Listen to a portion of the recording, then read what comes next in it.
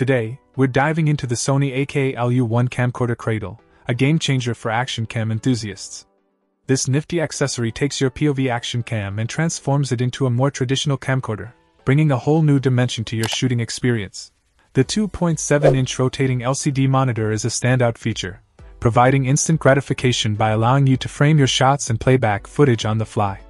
The hard button controls for next, playback, and previous make navigation a breeze, allowing you to seamlessly toggle between clips and review your content without a hitch point. One of the notable advantages of this cradle is its universal tripod compatibility.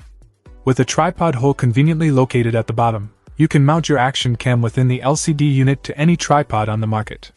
This opens up endless possibilities for capturing stable, professional looking footage in various environments.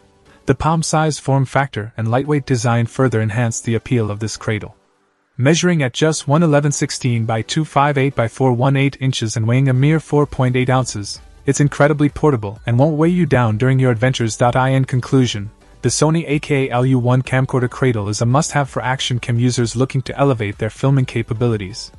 Whether you're a seasoned videographer or a casual shooter, this accessory brings convenience, versatility, and a touch of traditional camcorder charm to your action cam setup. Check out the video description for updated price. And thank you for watching this video.